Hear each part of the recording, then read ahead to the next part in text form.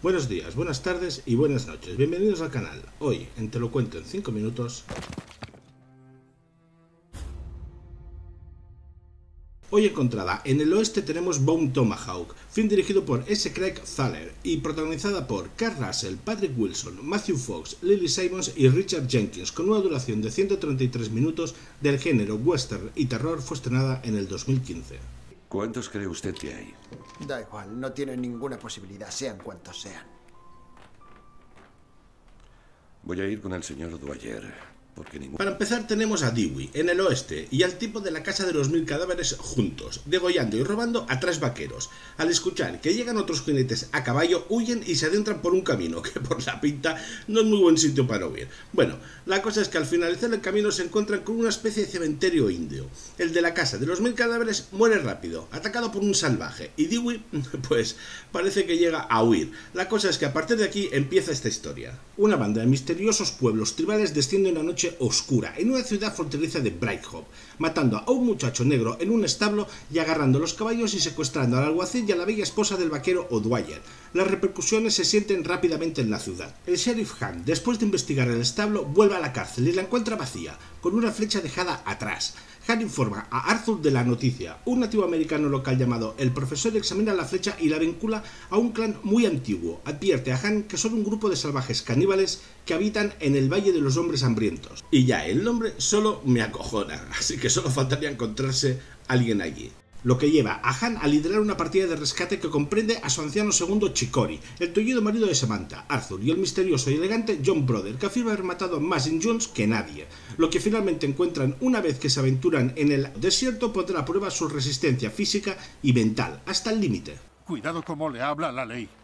Sobre todo al sheriff. Usted no es el capitán. Pero soy el más inteligente y pretendo mantenernos con vida. Seguros de que Samantha, Nick y Paris habían sido capturados por ellos, Han se prepara para perseguir al clan junto a Chikori y Brother. Arthur, a pesar de su pierna rota, insiste en acompañarlos, a buscar a su esposa.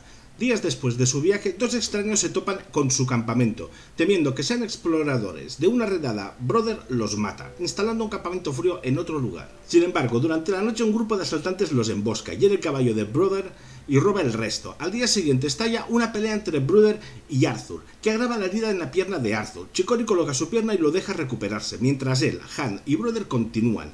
Al llegar al valle, los tres hombres resultan heridos por una andanada de flechas. Eso sí que es tiro al blanco. Después de matar a dos atacantes, Hunt y Chicori se retiran, dejando a Brother, que está gravemente herido, y exige que lo dejen atrás. Bruder eh, mata a un atacante antes de morir él mismo. Los atacantes capturan a Hunt y a Chikori y los encarcelan en sus cuevas. Los hombres encuentran a Samantha y a Nick herido, encarcelados en una jaula cercana. ¿Está usted herida? Estoy viva. ¿Está Nick con usted? Informan a Han que los miembros de la tribu ya han matado y devorado a Parvis. Ellos son testigos de cómo sacan a Nick de su celda, lo desnudan, le cortan el cuero cabelludo brutalmente y luego lo parten por la mitad. Joder, la madre que los parió. Samantha estima que el número de caníbales hostiles es alrededor de 12, reducido a 9 por la pandilla de Hunt. Hunt se da cuenta de que tiene una tintura de opio que le confiscó a Arthur antes, para evitar que la usara en exceso. Engaña a varios miembros de la tribu para que la beban. El primero le da un sorbo y la escupe. Parece ser que no le gusta mucho el opio. Pero el otro de la tribu le pega un buen sorbo.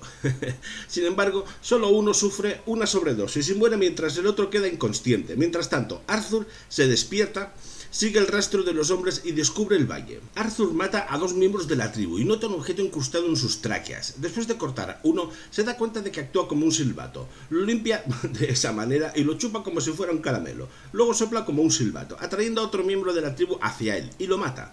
Ya en la cueva, al darse cuenta de que sus dos hombres fueron envenenados, el líder se enfada, y se enfada mucho. Y otro miembro de la tribu saca a Han de su celda, lo abre en el abdomen, le introducen un frasco de opio calentado por el fuego en la herida y le disparan en el brazo con un rifle.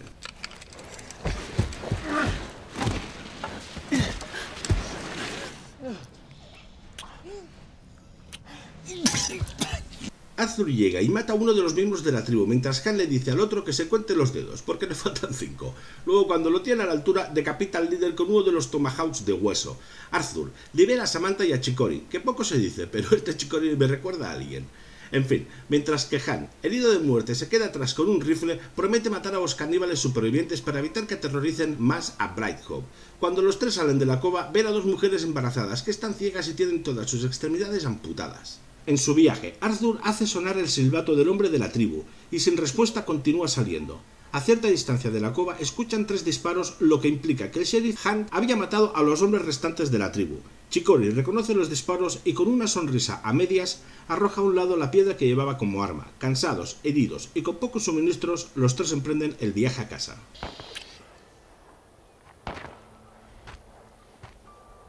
¿Eso han sido disparos? Así es. El guion está bien escrito, dándonos personajes tridimensionales completos, también el diálogo, y los gestos se sienten muy auténticos, transportándote al viejo oeste. Como dije al principio, esta película es un western de terror, y eso se nota realmente en el tercer acto. Hay algunas escenas sangrientas y brutales que no serán fáciles de digerir para los débiles de corazón. Un pequeño aspecto negativo de esta película es el ritmo. A veces se siente un poco lento, pero no lo suficiente como para arruinar su disfrute. Bon Tomahawk es una buena película, con una premisa interesante y un buen giro al género western. Es una película que podría haber salido mal de muchas maneras, pero sorprendentemente no es así. Tiene algunos personajes geniales y una historia intrigante. ¿Cuándo nos vamos? Bueno, les levantaré cuando me despierte. No suelo dormir más de cuatro horas por la noche.